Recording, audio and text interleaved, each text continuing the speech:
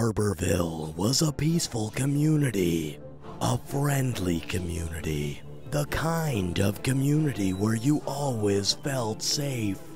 But everything was about to change. Because a scientist took an experiment one step too far. What are we doing here, Detective? We got a report of suspicious activity. An experiment that should have never happened. My god, what's that smell?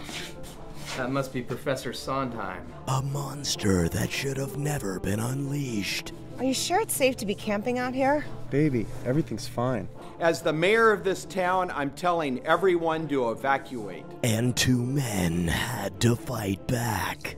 Ramirez, what do you make of this? I have to go to the bathroom. I'll be right back.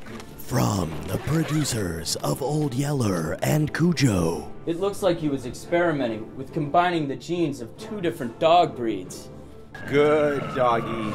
It must be a Labrador and a Poodle. But that's insane. This summer, there's a new breed of terror. No! I can't find a trace of anything. It doesn't shed. It doesn't drool. It doesn't leave a trace. Doesn't shed? Doesn't drool? We gotta stop this thing before the yuppies find out about it. I'm gonna kill you, you half breed! Ramirez, throw me the tennis ball! I can't! He'll destroy you! Throw it, damn you, throw it! You were scared by the ring. Saw gave you nightmares. But this summer, terror has been unleashed.